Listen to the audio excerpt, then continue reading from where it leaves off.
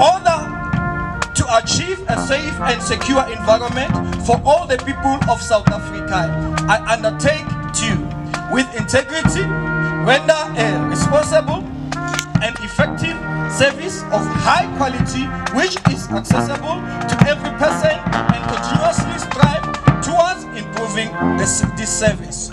Utilize all the available resources responsibly, effect, efficiently, and cost effectively to maximize their use.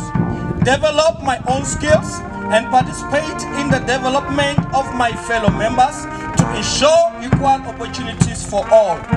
Contribute to recon- reconstruction and development of the reconciliation in our country. Uphold and protect the fundamental rights of every person. Act impartially, conscientiously, honestly, respectfully, transparently, and in accountable manner. Exercise the powers conferred upon me in responsible and con- controlled manner, and work effectively any form of corruption and to bring the perpetrators thereof to justice. I thank you.